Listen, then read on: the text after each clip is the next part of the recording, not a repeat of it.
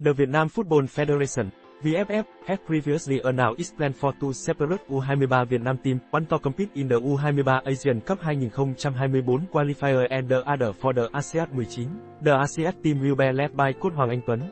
Following the conclusion of the U23 Asian Cup 2024 qualifier on the evening of September 12, several players from Coach U23 Vietnam team were added to the ASEAN squad. This include Cao Văn Bình, Nguyễn Hồng Phúc, Võ Minh Trọng, Nguyễn Đức Anh, Nguyễn Đức Phú, Khuất Văn Khang, Nguyễn Thái Sơn, Nguyễn Thanh Nhàn, Nguyễn Đình Bắc, and Bùi Vĩ Hào.